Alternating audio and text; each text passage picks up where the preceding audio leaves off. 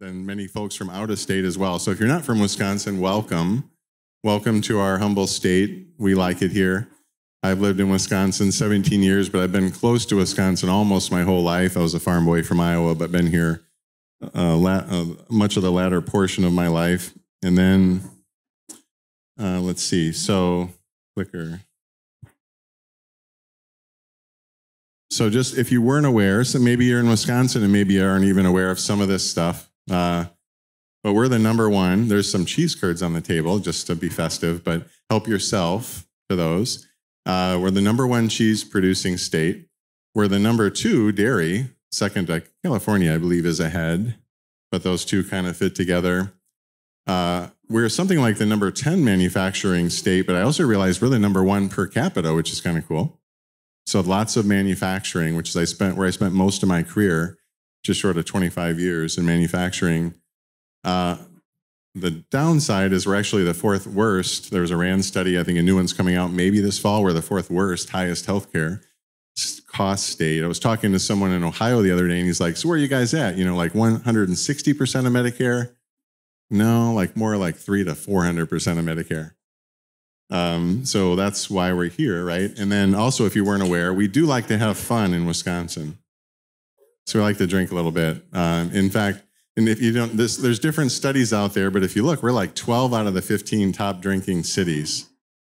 So uh, you'll probably find out later. We like to have fun and we can handle our alcohol pretty well. We can put it down. And so there's another chart as well, if you see. So we just, it's too much to list, so we just say all of them. But we do have, we know how to have fun. So just a little bit about this movement. We'll talk as we go, right? And lots of great speakers.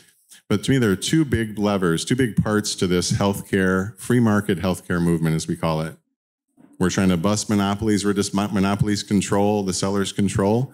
We want to open that up. The buyers should have power, the buyers should have choice, and the buyers should be able to chop for value. That's all we're really after. Uh, but it's like a rowboat, so right? If you had a rowboat and one oar is rowing, that rowboat's going in circles. Or if you have one oar that's slower, it's not going straight. And so we need two parts. We need buyer and seller. Buyers are in the commercial side. Over half of the members in actually quite a bit more in Wisconsin, something like 67%. But I think about half the members are on commercial, which means employer plans.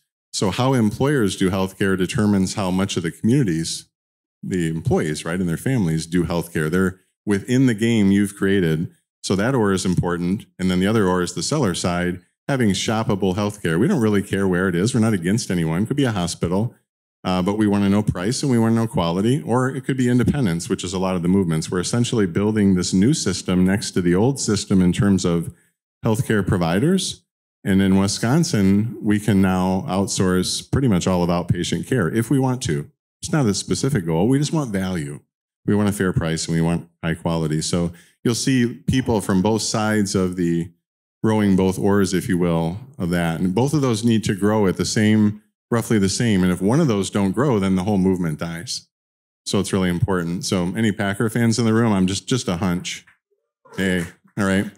So uh, I heard someone say the other day. He said, "So watching football is is there's 22 people on the field that are in desperate need of rest, and there's 50,000 people in the stands in desperate need of exercise."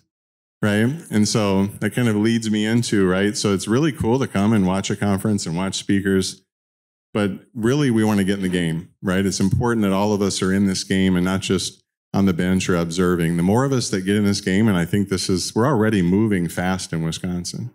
This isn't in question, but we're, we're multiplying and it's growing and it's now, it's now becoming reality. It's no longer a question of, to me, for the free market is the future of healthcare and Wisconsin is one of the leading states in the nation.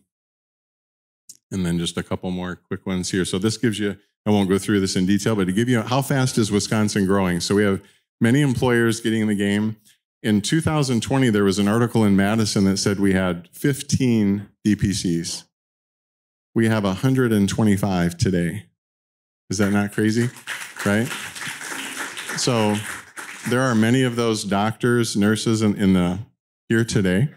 Thank you for what you're doing because you're making that happen. And um, or you're giving us good alternatives to shop for high quality healthcare. Some of the other highlights, right there, and then we say, well, seventy percent, but this inpatient stuff, this uh, ER stuff, we can't interrupt yet. Well, there's a micro. They weren't able to be here today, but there's a micro hospital just opened in Green Bay, and a micro hospital opening in Milwaukee that has extremely affordable care. So we're even starting to delve into that. We can already interrupt oncology. We can already find value in, in heart, in non-emergent heart surgeries. Oklahoma Heart is the closest for that. Most of it's local oncology. We have Twin Cities, Manitowoc, Chicago. Um, but if, would you fly to Oklahoma if you needed heart surgery? If we give you $2,500 and pay for all your travel and a companion? Most people would, especially one of the best surgeons, a really high quality surgery team, right? Keith Smith. Keith, I saw Keith earlier. Where you at, Keith? Put you on the spot. He's a speaker here. So, but Keith helped set all that up. He deserves credit for that. But that's all available. At, at uh, I went the first time I met Keith in like 17 or 18. I said, We just did a $300,000 heart surgery. And he asked me some questions. He said, We could have done that for 30. Maybe there's some inflation since then. But, but you get the idea, right? With a really high quality surgeon. This, uh, these bullets, surgery centers, this DSC, I call it, DPC, independent primary care, direct primary care, plus direct surgery, uh, specialty care, sorry, DSC, those two together new surgery centers, infusion centers, imaging centers. Three year, just three years ago, if you take, there's only three of those bullets on this chart. Those are all new in the last three years. That's how fast this is growing. These are doctors having courage and doing what they know is best. All right. And we'll keep moving here. One more. Um, and so I just found this funny. I saw this recently. It's the last one. We're going to jump, and then we'll go to John Trinas here um, right? This kind of this notion that and when we drive transformational change, right, where there's an old norm, which is a broken health system, which is non-transparent, unaffordable, et cetera, can't even get in, takes months to get in, to this new way. Uh, we just want to we just want better healthcare, and there's so much going on. To me, I've been using the phrase "golden rule compliant." Is that really the way you'd want healthcare, right, or is that just how you're making a lot of money off of me, right? So just this notion that we're kind of like Americans are hurting Americans and Wisconsinites are hurting Wisconsinites. We've got to stop that. How about we just do things in a way that we find a win win? We just find a win win because the only ones that are sustainable is the win win. Win loses are not sustainable, and that's the norm, right? Still, uh, although we're changing things, that's still the norm. We just want to find a win win. And I, I should introduce myself for those that don't know me. So, Jonathan Barron, Matt and I started this fun adventure called Self Fund Health together co founder, CEO. And in addition to Matt, I also want to thank our sponsors. So, everyone who is outside here, because honestly, without them, we couldn't have put this on. So, another big round of applause for them.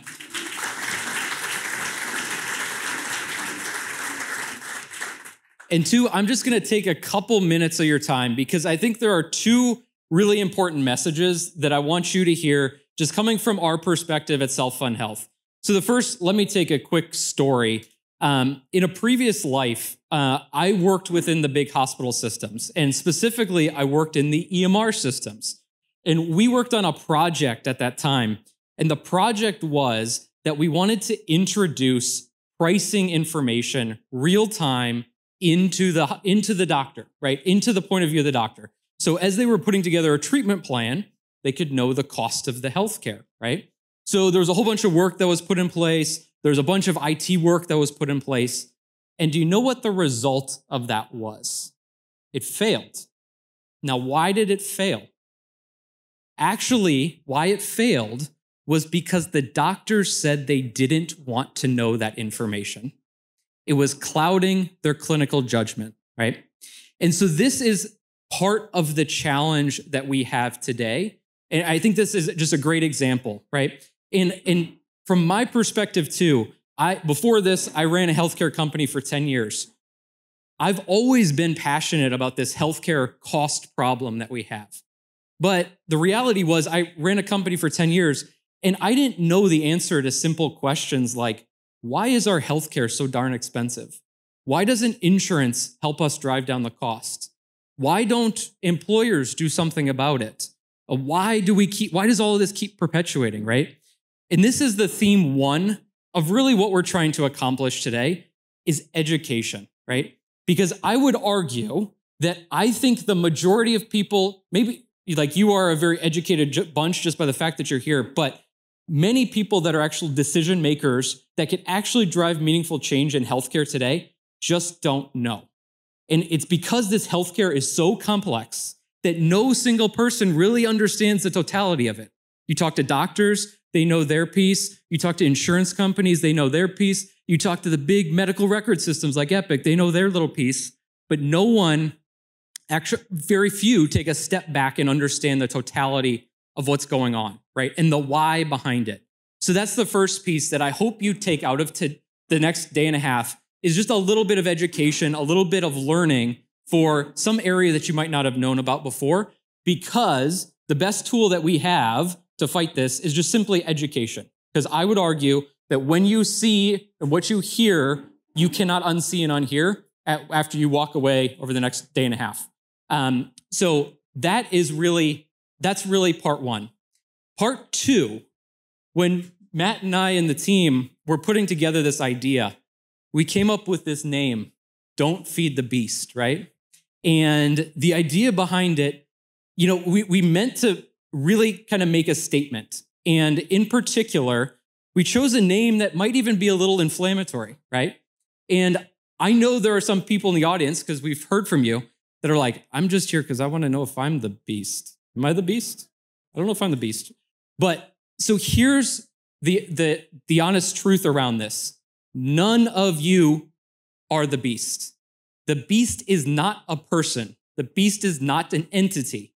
The beast is a set of behaviors that is perpetuating this healthcare industrial complex that we are all here to do something to fight against, right? And so it's the behavior, it's not the person. And I'm serious when I say this because I really truly believe that our ability to push this movement forward is going to be by bringing everyone together, all the different constituents of this whole ecosystem, and driving towards something better. So I would urge you, I would urge the speakers, I would urge you in your conversation to think through people, think about the entities that you might think of as being the beast through a different light. Because there's a famous Charlie Munger saying that goes something along the lines of, show me the incentive and I'll show you the outcome, right? This kind of speaks to my first point. All, every one of us think we're doing really good work in our little corner of the healthcare ecosystem. But when you take a step back and understand the bigger picture, that's when you get begin to get a flavor for what's actually going on. So that those are my two quick things. Hopefully today you come away a little better educated, better understanding, but then also approach each entity that you may think of as the beast in the ecosystem, approach it with a little compassion and a little understanding, and hopefully collectively we can get to a better spot in the end. But at the end of the day, let's not feed that darn beast. Thank you.